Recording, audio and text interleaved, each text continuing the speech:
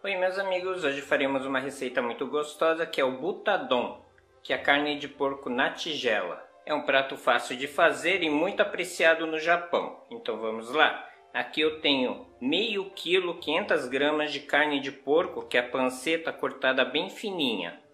Você pode pegar uma peça de panceta e congelar. Depois fica bem fácil para cortar.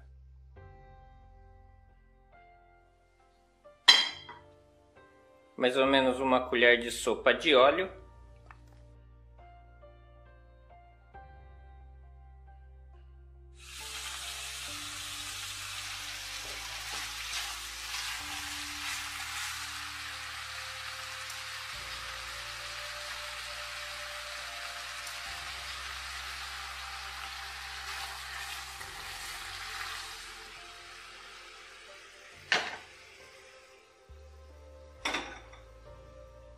Em uma panela acrescentaremos o shoyu, o saquê,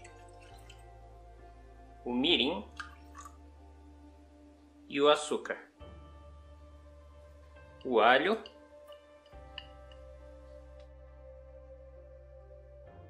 Começou a ferver, vamos abaixar o fogo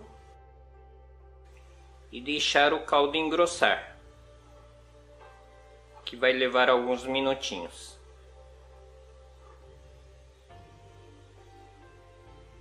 E agora acrescentaremos o gengibre.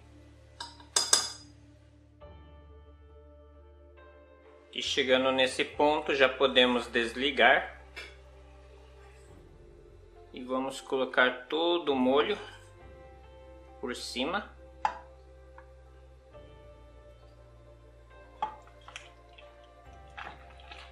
Vamos mexer bem.